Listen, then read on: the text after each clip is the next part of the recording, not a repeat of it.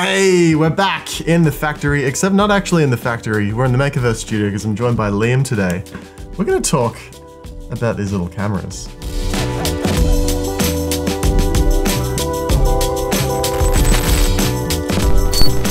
What can you tell us about the cameras, Liam? Okay, so these are the new ArduCam Mega cameras. They're made for microcontrollers and they run from SPI. And yeah, I've been cracking on a driver for these for about the past week.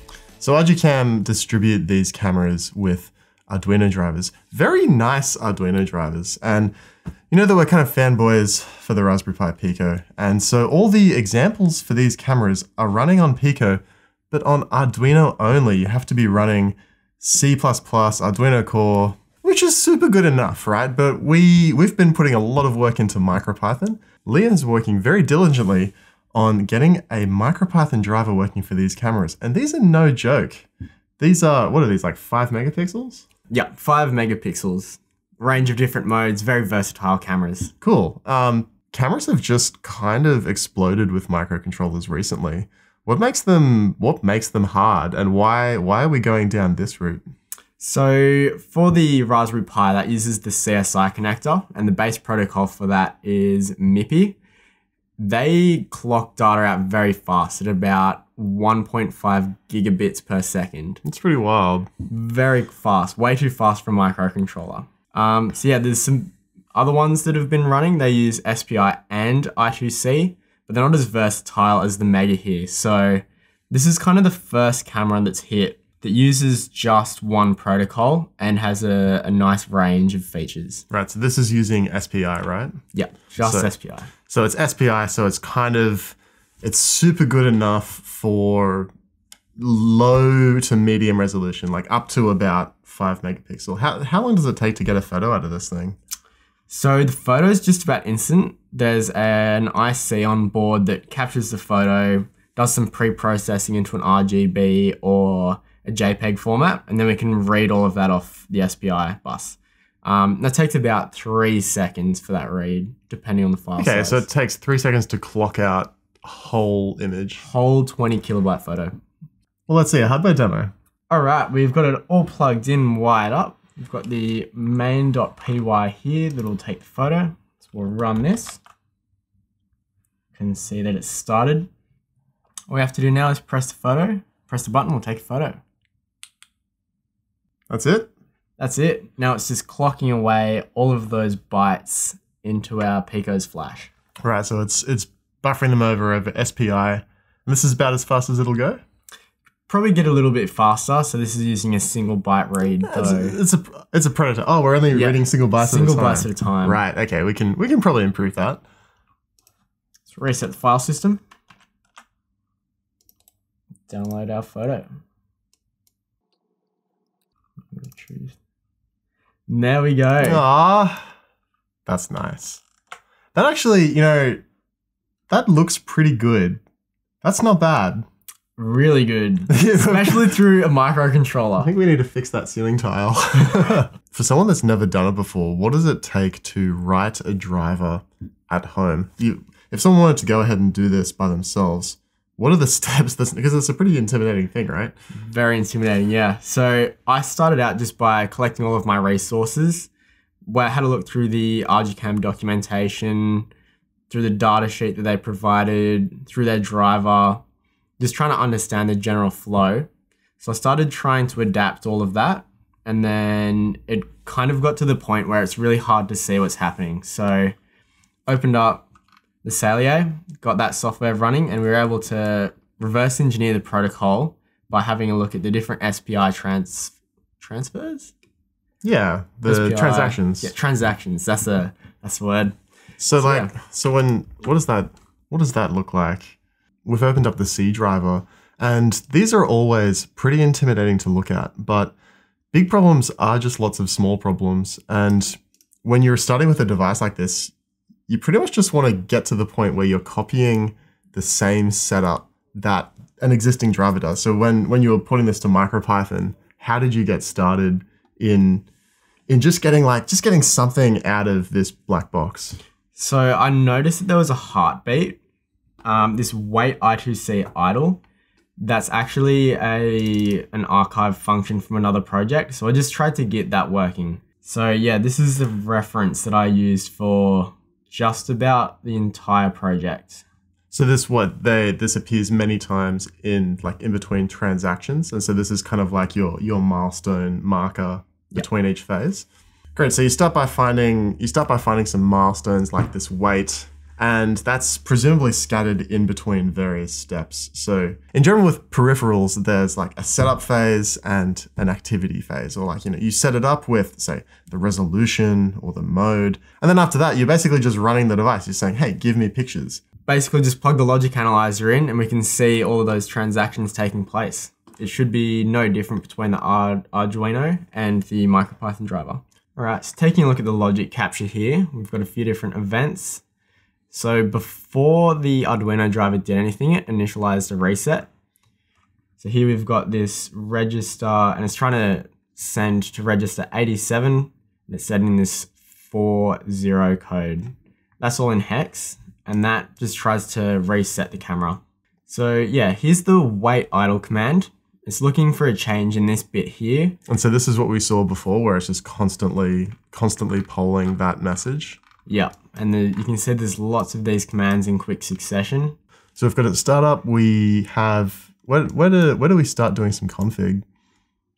Right over here. And so is this all, is this all copied essentially um, byte for byte into our new MicroPython driver. Essentially, yeah. And so we're we're just taking that example and extracting out.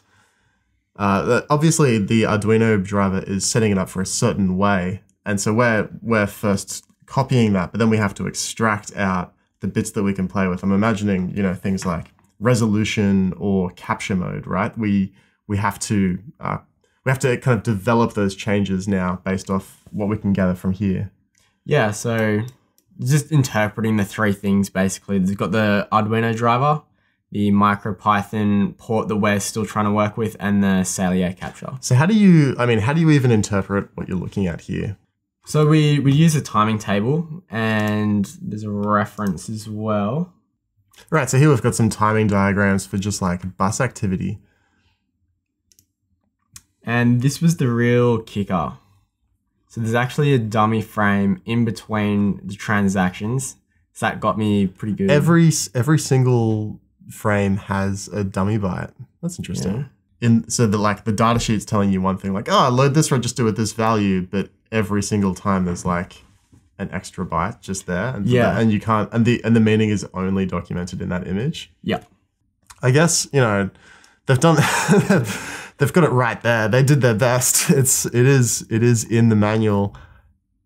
It's uh it's really easy to overlook these uh, timing diagrams, especially when you're familiar with the protocol. Like I know when when I have used I squared C a lot, you see a lot of these same diagrams in the data sheets. Yeah.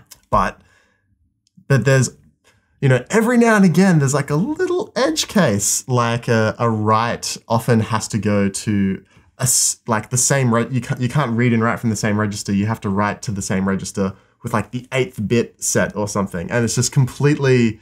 If you didn't look at the timing diagram, you would have missed it. But once you've seen a few of them, and they all kind of look the same, you kind of stop looking. So it's it can be a bit of a trap to just like cruise past these, especially when you've had a bit of experience and you kind of uh, maybe I don't know maybe get lazy. Uh, but so and and where do you where do you get the meaning of the registers? Like that that's going to be in a data sheet or something, right? Even in the Arduino code is like the the best place because this is real. This is what's really going on. Yeah. So I've basically just copied across all of these registers and bits up here. It's just been poured across into MicroPython. So if initialize the camera, what what do we do to read an image? So we're ready. We're ready. Oh yeah, there it is, and it's changed to two six. Two six. We've got a photo. We know there's something on the camera, but now we need to know how big that is. So it's just taking like the XY dimensions of the of the camera, laying it flat, and that's that's the number of frames that you need to read out. So there's an actual register on here that tells you the size of the file. Oh, because it's padded with JPEG information yeah. and stuff like that. So it's actually the number of the number of bytes, I suppose. Yeah. Cool. Yeah, there's a few different file formats that the camera can output. So we start reading out the image here. So we've got a 3D and there's a bunch of just different, seemingly random outputs from the camera. And that continues, but it's actually our image. Right. So all Very cool. And so then we just have these massive block reads. Happy days getting the heartbeat out, setting the config, all that was really good. But this was the first photo that came out of the camera. And it's green. Why is it green? This was the biggest gotcha. So the camera has a white balance algorithm running on the inside of it yeah. in its own little dedicated IC, undocumented outside of that one delay in the example code. Right. So in the so in the Arduino source, there's a there's just a delay, like what a quarter of a second, just in there somewhere with no Yeah. comment. No comment, it's just delay MS 500. And so that that kind of implies that after you've initialized the camera, the auto white balance needs to do its thing. So this Yeah. so if so if the delay were on this image, it would actually look just fine. All the colors would be fine, wouldn't be grainy, wouldn't look like Kermit. There it is. Oh, and and just like just like the big boys, we've left our delay completely undocumented as well. We should fix that. Yeah. That- that is- And is is this then the result that you get when when you insert that delay? yeah. And so it's super good enough. You, you can get pictures out of it. What do we need to do from here? So from here, making sure that the modes resolutions can be set. There's a bunch of other behind the scenes stuff like contrast, brightness. That'd be good to be able to alter, just like the Arduino driver. So if you feel like contributing to this little project, we have the current state on GitHub. This captures this is about as behind the scenes as it gets. Hey, this is, you know, we're still we're still working just in a single file. So we have our our camera class defined and and we just go ham at it and then right down the bottom of the file is the test code. So we're still very very much in development, but we feel like this is this is just too good to miss out on especially if you want to move quickly.